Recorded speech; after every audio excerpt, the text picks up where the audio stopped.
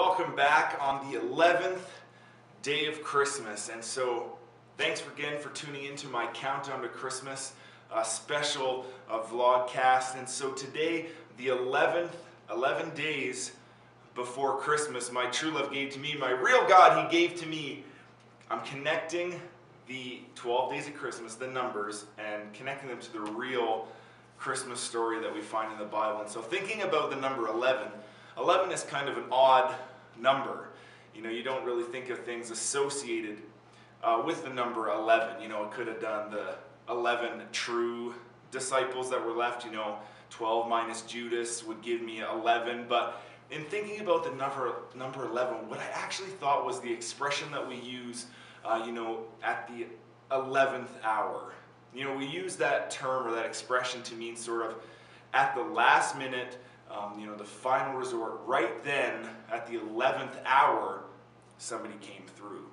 And so, thinking about the 11th hour, I really believe that Jesus, when he was born, uh, he came at the 11th hour. He came at uh, really the best time, the time that we needed him uh, the most. And so, Galatians 4 and 4 says we're connecting this directly to the Christmas story. Galatians 4 and 4 says, But when time had fully come, another uh, translation said, In the fullness of time, God sent his son, born of a woman.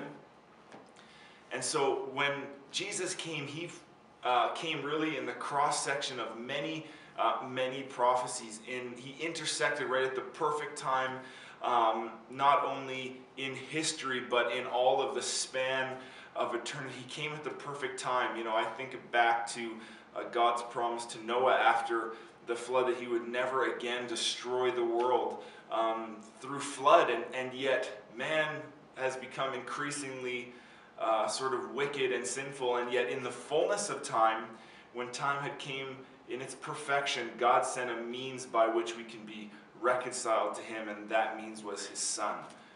And so I'm thinking about the 11 uh, days of Christmas. God sent His Son at the 11th hour. You know, the atomic clock uh, that we have moves very slowly. You know, the, the seconds when they move it uh, closer to midnight, which is sort of like the, the doomsday, it, it moves just minor adjustments to what is like large events. And so I thought of this, this is like the ticking down towards the great event, which would be Jesus' second coming, but it happened in the fullness of time, in the perfection of the moment, which at that time really was the 11th hour. You know, you go to the fact that, you know, there was no room at the inn, and, you know, maybe they, they were trying to check in late, but it was in the fullness of time. God had the perfect timing planned out. Even though there was no room in the inn, He had a place prepared for them in advance. It wasn't that He was unable to make room in an inn, it was that God, uh, Jesus' roots began in humble beginnings in a manger. And so, in this 11th hour, think about on 11 days before Christmas uh, how Jesus came. He was born at that perfect time uh, that God had ordained. Keep tuning in for the rest of my countdown to Christmas.